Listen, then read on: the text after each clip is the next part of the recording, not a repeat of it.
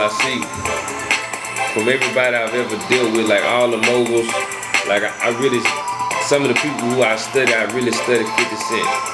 I like his style. What, what I particularly like about him is how he just go after anybody, you know.